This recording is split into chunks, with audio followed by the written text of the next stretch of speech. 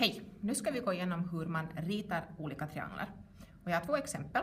I det här första exemplet så ska vi rita en triangel där ena sidan är 3 cm, den andra sidan är 4,3 cm och sen vet man att deras mellanliggande vinkel är 140 grader. Så börja alltså med att rita ena sidan som du vet måtten på. Ingen skillnad vilken det är. Jag ritar först den här sidan som är 4,3 cm. 4,3. Bra.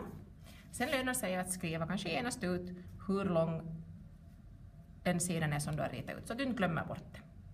Och sen ska vi ha en sida som är 3 cm och deras mellanliggande vinkel är 140 grader. Nu är det ingen skillnad på vilken sida du ritar den här 140 grader. Jag väljer att göra det till höger. Kommer du ihåg sätter du nollan vid ändan av sidan, en prick vid 140 grader. Har vi 10, 20, 30 och så vidare så kommer jag till 140 har jag där, en prick där. Och så den här sidan ska då vara 3 cm lång. Mäta upp 3 cm. Sådär. Och så skriver jag in måttena. Det här är 3 cm. Vinkeln är 140 grader. Och sen är det att dra ihop så att du får den tredje sidan i triangeln. Sådär. Nu har vi ritat en triangel som uppfyller de här kraven.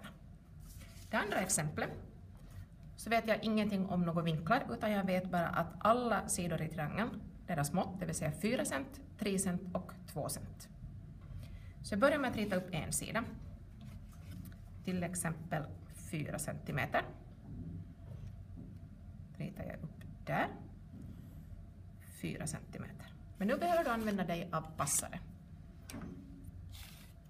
Det vill säga, mät upp ena måtten, det vill säga 3 cm. Eh,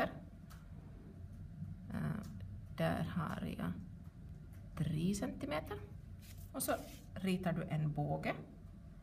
Vet du att någonstans där så kommer den tredje spetsen att komma. Och sen mäter du upp Kanske behöver laga den lite, lite längre. Sådär. Och sen mäter du upp två centimeter. Så. Och ritar det från andra sidan. Nu ser jag nog lite för kort. Förlänga den andra sidan lite. Så att, de får, så att du får en skärningspunkt mellan dina bågar. Sådär. Där kommer den sista sidan. Där har du det sista hörnet. Så det är bara att dra ihop dina tre hörn med varandra.